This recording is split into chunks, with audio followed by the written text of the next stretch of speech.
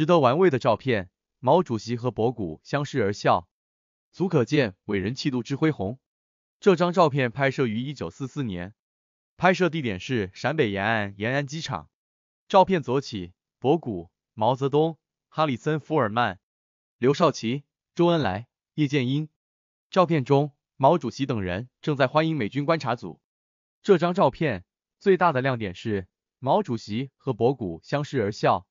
他们笑得亲密无间，没有丝毫的隔阂，这是非常值得让人玩味的。众所周知，从一九三一年十月开始到一九三五年二月结束，博古曾经当过临时中央的总负责。在这近四年的时间里，博古是王明左倾错误路线在国内的第一执行者和推行者。也是在这一时期，毛主席被排斥于党和红军的领导之外，毛主席被剥夺军权，在苏维埃政府中也被架空。博古作为党内总负责，不可能没有一点责任。除去王明，博古的责任最大。中央红军第五次反围剿失败，湘江惨败，中央红军由八点三万余人锐减为三万余人，博古也具有不可推卸的第一责任。一九三五年一月，遵义会议召开，确立了毛主席的领导地位。然而，毛主席并没有对博古进行任何的打压排挤，反而委之以重任。博古在意识到自己的错误之后，痛定思痛，决心跟着党，跟着毛主席走。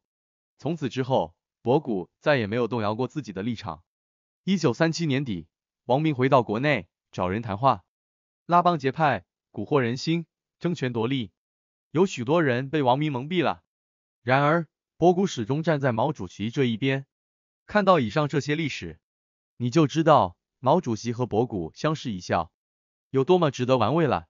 毛主席团结博古的故事，足可见毛主席的胸襟之广阔，气度之恢宏。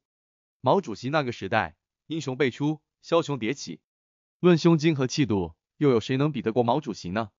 订阅我，一起聊聊。